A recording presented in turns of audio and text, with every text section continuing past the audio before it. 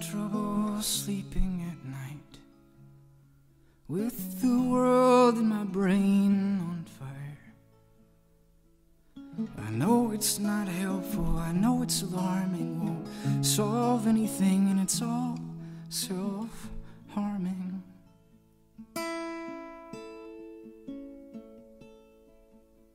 The family I knew isn't the family I before the nation took sides, everyone I know is wearing a smile. In place of the feelings they hide. The state of the world, the state of a nation, opinions like arrows thrust deep in the heart, deer running aimless and crippled in pain, the blood running blood running down from the sticks and the stones and the words no one owns when no one's held in account.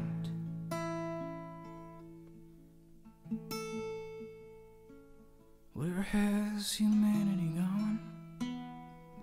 I'm searching the lost and found. I'm searching the lost and